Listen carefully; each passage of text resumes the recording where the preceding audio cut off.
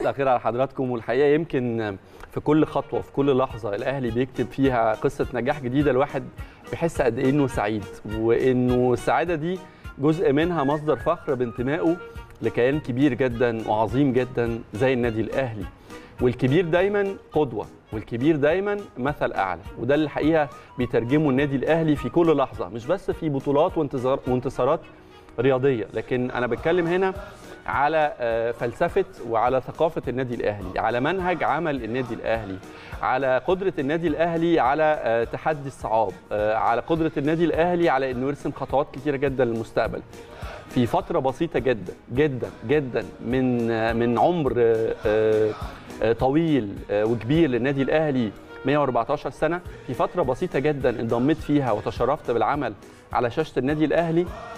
كان يعني كنت شاهد على عدد كبير جدا من الخطوات الناجحة. خدوا بال حضراتكم إن كل خطوات النجاح اللي كتبها النادي الأهلي في الفترة الأخيرة والفترة البسيطة دي كانت في فترة العالم كله فيها بيعاني من مصاعب كتيرة جدا. أكبر أندية العالم وإحنا يمكن هنا حتى على مدار الحلقات السادسة كنا بنستعرض بالأرقام وبالإحصائيات والميزانيات قد إيه الأندية الكبيرة على مستوى العالم اللي دخلها بالمليارات بتعاني بتعاني في تطوير بنية تحتية بتعاني في استخدام أو تعاقد جديد مع لعيبة جديدة. وعلى الرغم من فترة الصعوبات الاقتصادية دي قدر النادي الأهلي إنه يعمل خطوات كتيرة جدا.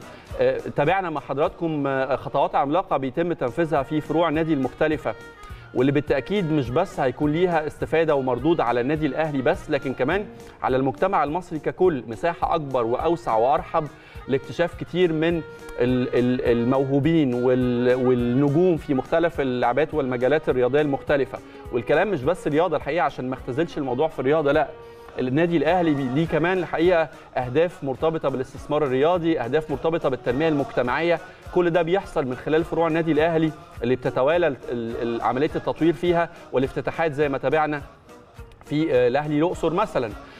عايز أقول لحضراتكم كمان انه مش بس فكرة الفروع لكن حتى كمان على مستوى تطوير الإعلام الرياضي. وإحنا يمكن في خلال قناة طبعا عمرها مش طويل قوي لكن منذ بدأت مرحلة التطوير الأخيرة بنتكلم في خلال شهور بسيطة جدا قدرت القناة إنها تفوز بجائزه أفضل قناة رياضية عربية. وده بالتأكيد الحقيقة نتيجة مجهود ونتيجة تخطيط ونتيجة رؤية.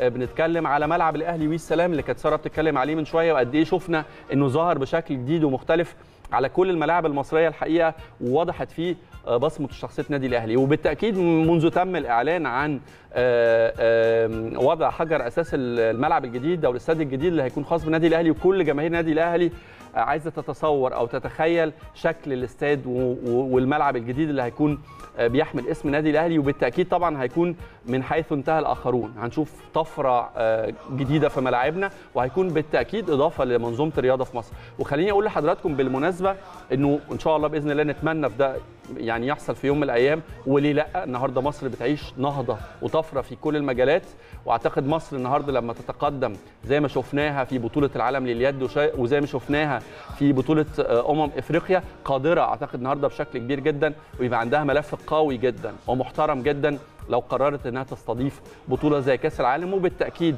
في الحالة دي هيكون استاد النادي الأهلي الجديد في خدمة الرياضة المصرية وفي خدمة الدولة المصرية وهيمثل إضافة حقيقية لبنية تحتية رياضية شهدت تطور كبير جدا في عهد الرئيس السيسي. وده جزء الحقيقة يمكن من الرسائل اللي بيحاول فخامه الرئيس إن هو يأكد عليها دايما مش بس في الرياضة في كل المجالات إنه أي نموذج أو أي قصة نجاح بالتأكيد لازم الدولة تقف في ظهرها وبالتأكيد لازم الدولة تدعمها وتساندها وتوفر لها كل السبل وكل أنواع الدعم الممكن عشان تستمر نفس قصة النجاح دي.